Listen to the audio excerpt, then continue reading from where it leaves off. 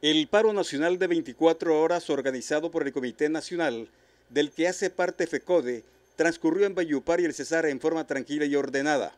Médicos, enfermeras, trabajadores de la salud, maestros y empleados de Azonal se vincularon al paro dejando 55 mil audiencias sin hacer a nivel nacional. La marcha se cumplió entre el Parque Santa Lucía y la esquina del Hotel Sicarare. Bien estamos resaltando el problema de la salud en el Cesar, en Valledupar y en Colombia entera. Los maestros y maestras de verdad que estamos viviendo un vía crucis con el servicio de salud que nos prestan. No es posible que sigan los pendientes, hacemos reuniones y más reuniones, se comprometen pero no cumplen.